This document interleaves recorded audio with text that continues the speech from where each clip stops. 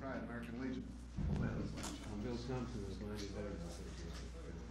Lawrence Tenn, that's how you look when you go young. In Montgomery in sixty-eight. I tried to talk you into running for president. It means you will, my God. Fine with me. Well, uh, I'm pleased today to be signing into law uh, this House Resolution 2156. This legislation is aimed at maintaining the quality of medical care for our veterans.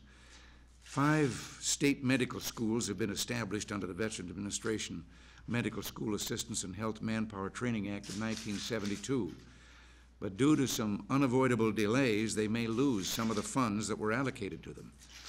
House Resolution 2156 provides an additional year for the medical schools to use the monies that were allocated by the original act. And these monies allocated to improve the health care of veterans will not be withdrawn simply because of unavoidable delays that prevented meeting of artificial deadlines set within the original legislation. We owe more than money to those who wore their country's uniform and sacrificed in our behalf. And we will not waver in our obligation to them.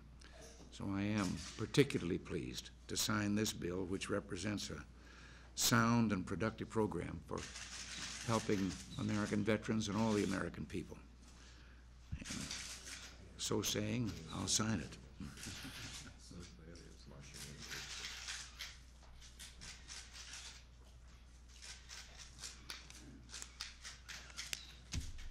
Done. Mr. President, why won't you meet with the Vietnam veteran or under records? This is the only question I'll take on that. Let me explain something about that.